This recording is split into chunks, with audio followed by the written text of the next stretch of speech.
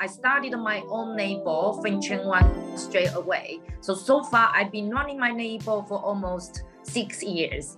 Um, so I think if you wanna, I think uh, um, my advice to all the young designer or students would be, um, if you really want to study the, your, if you really want to start your own label, uh, I think you for me, like the most important, for me, the most important things I learned from my school, um, which is how to find myself.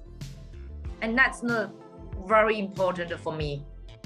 Um, so once you know yourself, you will define your own style and you will know what's your inspiration. You will know um, what color you're gonna choose. You're gonna know what material you're gonna pick. You know, so yes, that's really important. So find yourself, know who you are, what you wanna do, what's your dream, and then once you know that, um, don't give up.